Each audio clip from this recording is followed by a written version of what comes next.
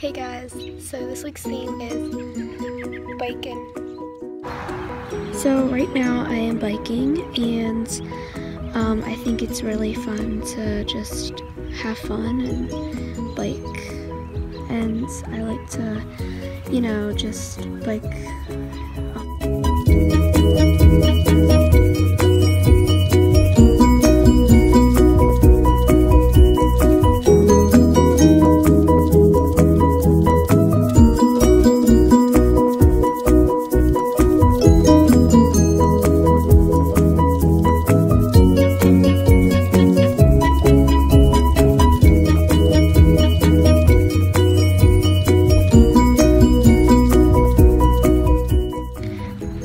my hobby and it's something I really enjoy.